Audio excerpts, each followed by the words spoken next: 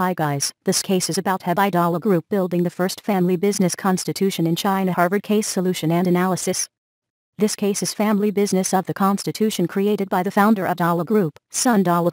It was the only such system in China today. The system has allowed the group to survive near fatal problems, the case starts with the problems of Sun Dawu issues wages, increasing demand from the newly elected member of the board of directors, the doubts of some leaders of the constitutional system, and suspicion of outside experts and journalists within the group. For more details you can visit www.thecasesolutions.com. Thanks for watching this video.